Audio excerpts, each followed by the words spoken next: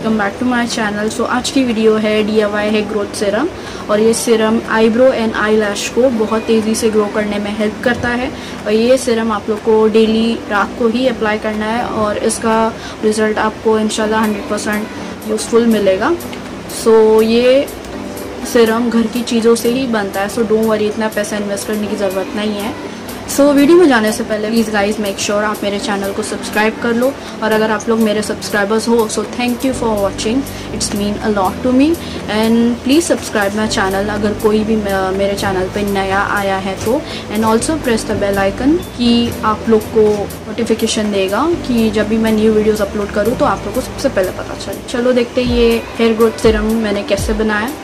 let's get started